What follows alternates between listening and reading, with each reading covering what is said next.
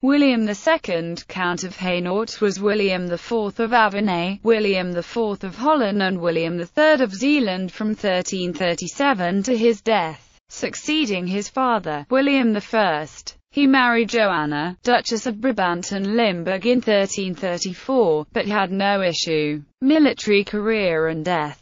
William fought in France as an ally of the English. He went on crusade against the Saracens and the Lithuanians. He besieged Utrecht, because his one-time favorite bishop John Van Arkel of Utrecht had turned against him. He died at Warns, near Stavoren, during one of the battles of Warns against the Frisians in 1345. After his death, William was succeeded by his sister, who was married to Emperor Louis IV. Hainaut, Holland and Zeeland became a part of the imperial crown domains. Ancestry